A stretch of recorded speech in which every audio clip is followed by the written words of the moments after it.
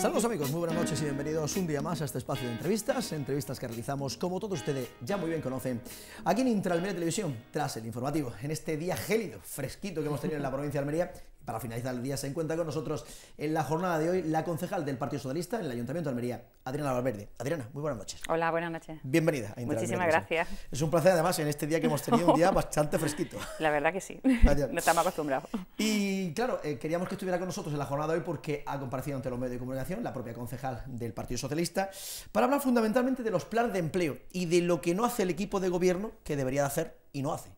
Pues sí, efectivamente, hoy hemos hecho una convocatoria para abordar el tema de la creación de empleo en el Ayuntamiento de Almería, por el equipo de gobierno, y bueno, lo que hemos puesto de manifiesto y lo que exigimos al equipo de gobierno es que se trabaje bien en los nuevos planes de empleo que se están poniendo en marcha, porque eh, encontramos que ya lo advertimos en el mes de junio de que iba había un expediente de reintegro en la Junta para los planes de empleo anteriores y que iba a haber un expediente de reintegro el, acta de la Junta de Gobierno de finales de diciembre, el día 27, ha venido a constatarlo y bueno, lo que no podemos permitir es que mm, teniendo una cifra de desempleados, la última que tenemos al mes de diciembre, por encima de los 20.600 parados en nuestra ciudad, no podemos perder ni un euro que venga eh, dirigido y destinado a la creación de empleo. Y eso es lo que esta mañana hemos creado en evidencia y exigimos, como he dicho, a que el equipo de gobierno, y principalmente el alcalde, a que se ponga al frente y que los planes de empleo se gestionen bien, porque la verdad que es una irresponsabilidad y es indignante que conociendo la situación porque están pasando los parados en nuestra ciudad, pues que haya dinero que viene dirigido a, generar contratos de trabajo para esas personas de otras administraciones que están trabajando como hace la Junta de Andalucía para solventar eh, los problemas o esa lacra que tienen los parados de nuestra ciudad y lo que no podemos permitir es que se mm, devuelvan casi 500.000 euros. Son 374 contratos los que se podían haber hecho con esos casi medio millón de euros que tenemos que devolverlo.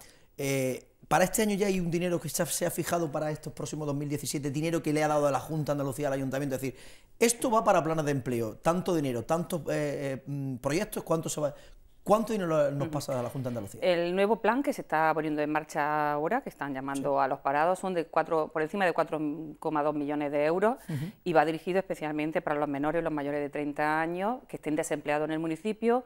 Hay unos criterios de, de selección donde se exige, según la orden, de que prioritario aquellas personas que tengan derecho al salario social, quiere decir que es que no tienen ningún tipo de ingreso ni recursos, que se han parado de larga duración principalmente, y bueno, pues que esperamos que el ayuntamiento no cumpla los mismos errores que cometieron con el anterior.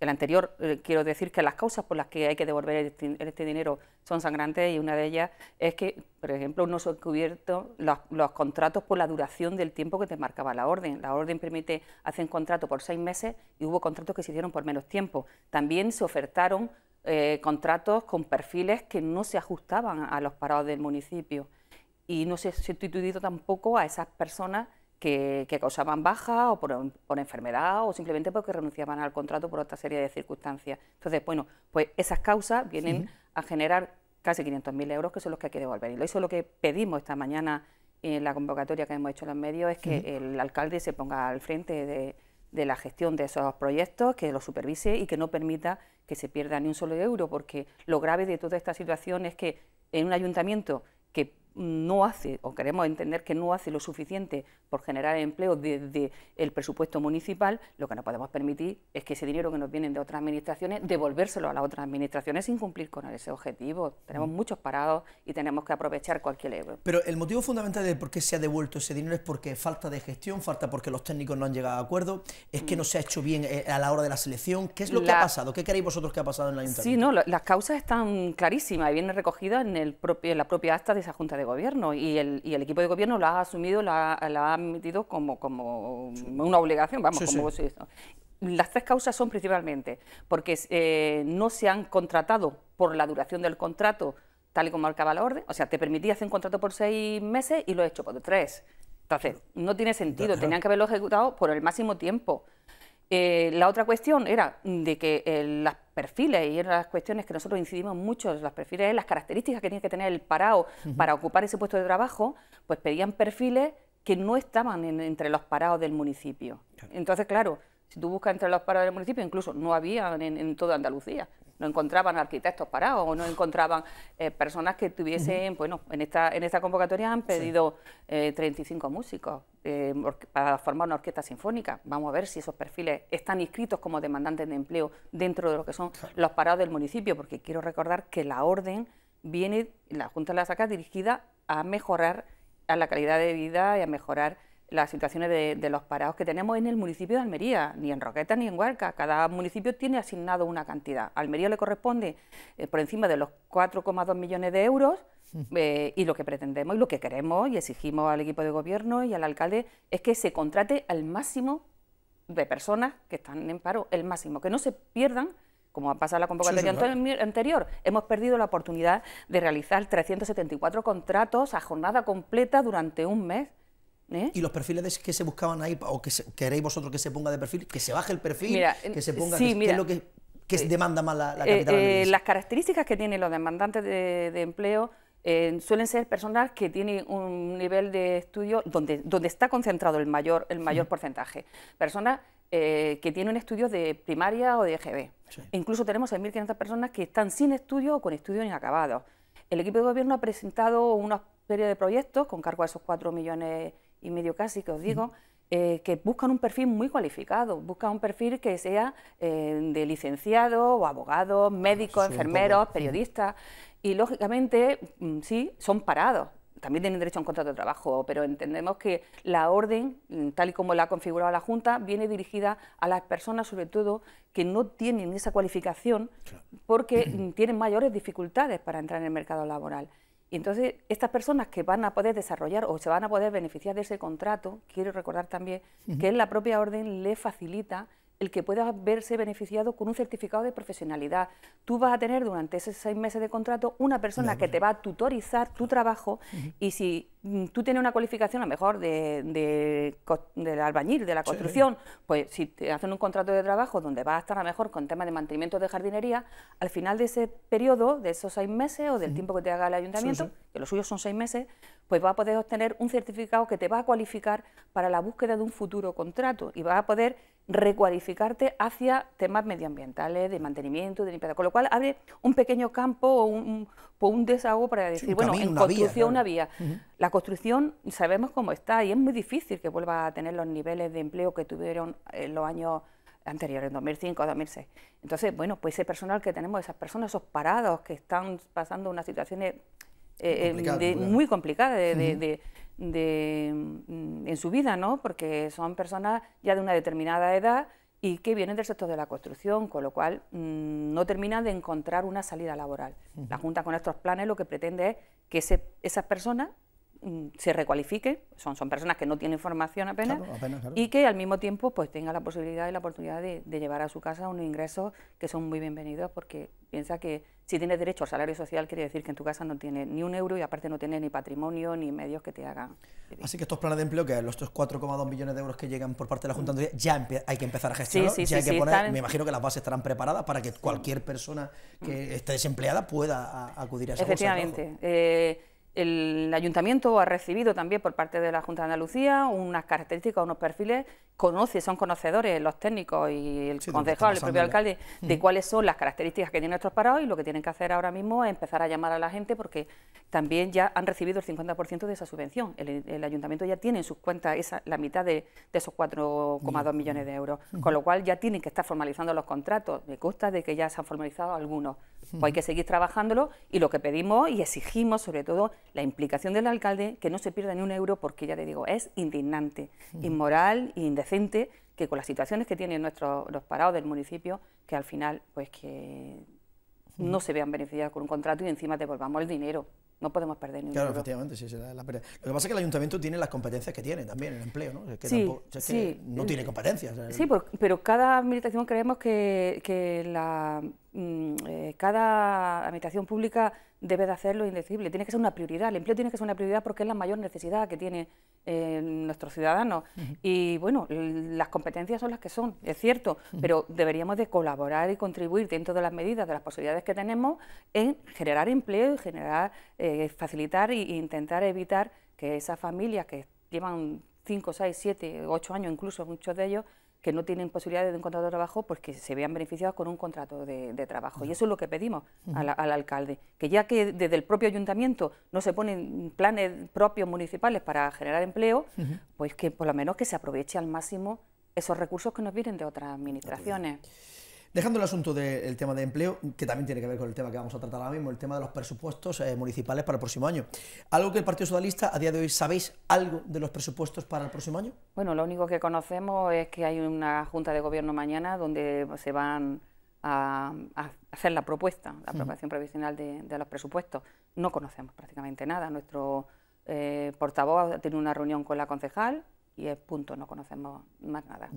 Lo que único que sí pedimos al alcalde que bueno que en la puesta en marcha de esos de esos presupuestos, cuando mm, que ya creemos que van a llegar tarde, ahora mismo el presupuesto está prorrogado desde 2016, si el presupuesto se lleva a pleno como muy pronto, muy pronto, va a ser a final de este, este mes, el día 30, eh, luego habrá un plazo de, alegaciones y de información pública, con lo cual estamos hablando de que vamos a ir a un presupuesto del mes de, de marzo, como muy pronto. Y bueno, pues para la ejecución de lo que se prevea en esos presupuestos, según el alcalde, van a crear empleo en los presupuestos. Yo no me lo creo mucho porque además, eh, con lo que te he comentado anteriormente, eh, la, eh, la entrega de ese dinero que ha sobrado. que ha sobrado, pues hace que pierda toda la credibilidad de lo que nos cuentan. Al fin y al cabo nos están contando y, nos están mm, milonga y humo, ¿no? Porque si tú no eres capaz de gestionar el dinero que te dan otras administraciones, pues el tuyo, el propio tuyo, no me creo mucho de que vaya a haber mucho dinero en el presupuesto de 2017 para crear empleo, no para mantener el que hay, crear, que es lo que nosotros pedimos. Nos parece muy bien que nos digan que a través de las concesionarias se va a gestionar empleo tal. Bueno, las concesionarias están, esos servicios están cubiertos con esas concesionarias y lo que se está haciendo es manteniendo ese empleo.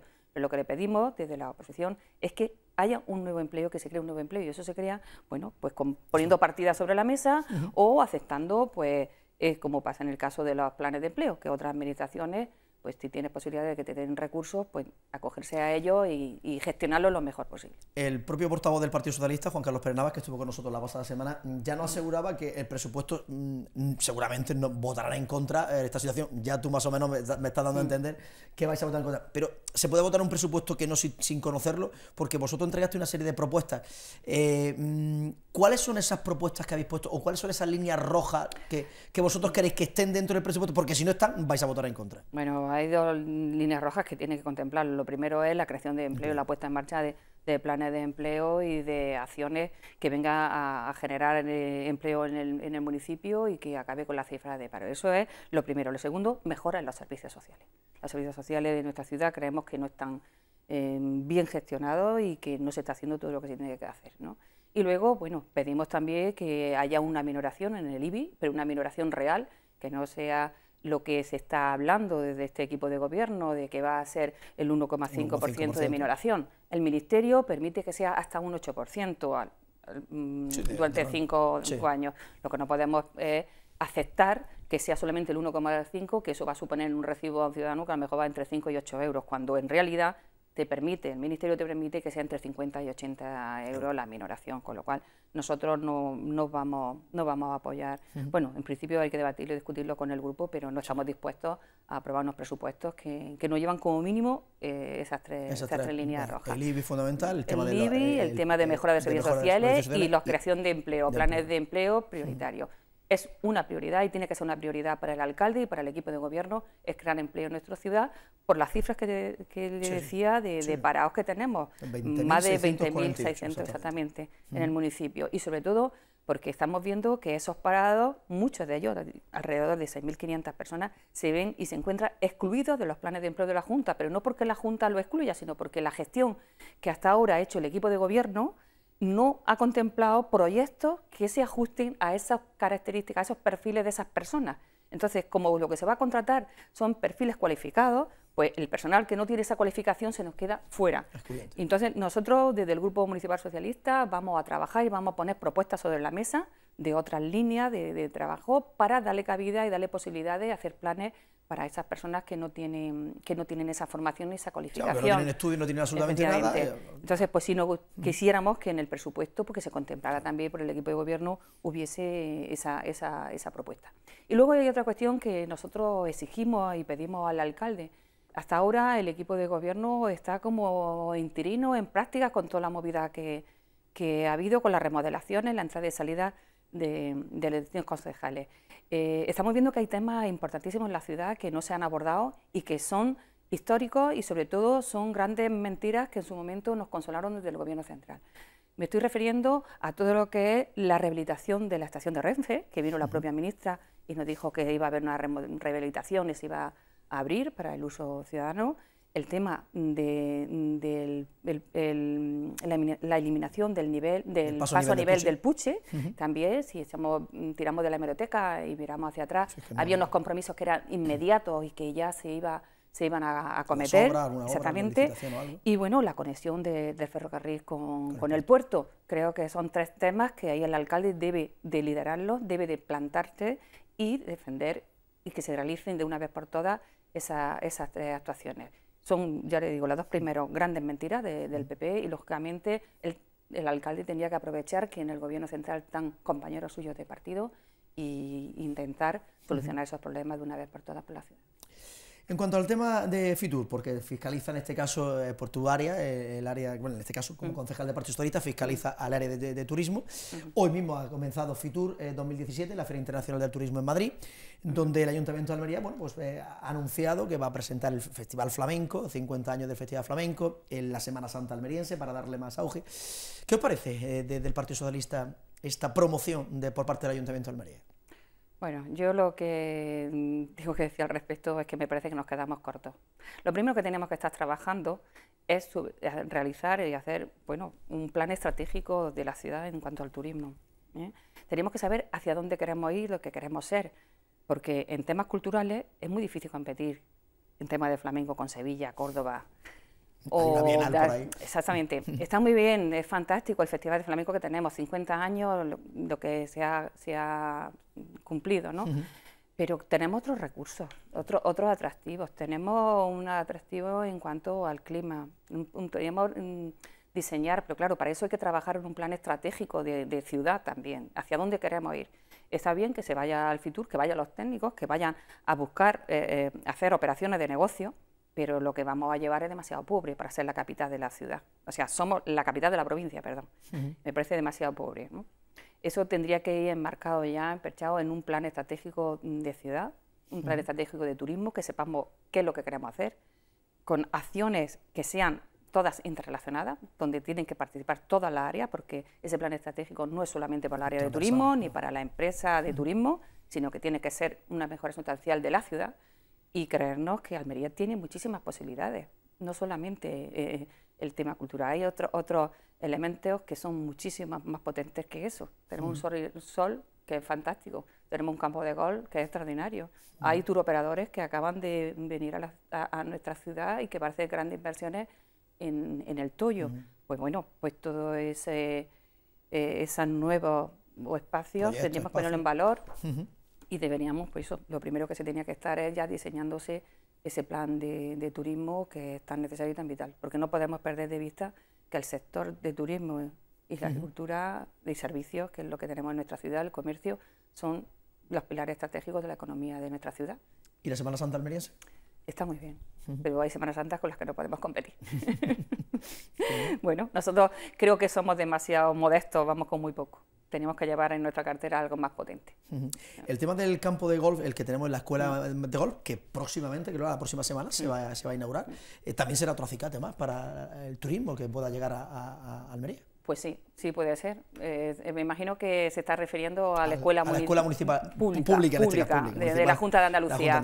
Sí, sí puede ser un gran acicate y además, de hecho, yo del ayuntamiento, del alcalde, mm, hubiese dado ya un paso al frente y hubiese estado negociando y hablando pues quien él ahora mismo tiene la titularidad de, ese, de esas instalaciones, porque eh, ahí se nos va a poner de vecino muy cerquita unas instalaciones que nos vendrían fantásticamente al campo de golf municipal que tenemos. El campo de municipal, municipal eh, desde que se está gestionando, se está despegando, hay que reconocer que se está haciendo un buen trabajo, pero tiene grandes carencias y grandes carencias que no podemos crecer, no se puede crecer más porque se requiere inversiones el tener que hacer una casa club que nos lo demandan los usuarios, por ejemplo, eso se podría haber compensado si se conveniase o se negociase o se hiciese un acuerdo con la Junta y utilizar las instalaciones de la escuela pública, de, golf. O sea que vamos a tener un vecino que la verdad debería de ser bien recibido y que el alcalde yo le animaría a que tomara contacto con la Junta de Andalucía y hiciesen propuestas. Creo que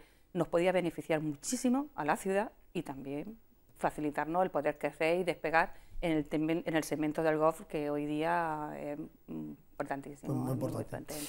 pues Adriana Valverde, concejal del Partido Socialista del Ayuntamiento de Almería, muchísimas gracias por tu presencia una vez más con nosotros en la entrevista. En cuanto tu agenda te lo permita, para venir nuevamente con nosotros, para explicar a los almerienses en diversos proyectos que tenéis encima de la mesa desde el Partido Socialista para que se puedan aplicar a la ciudad de Almería.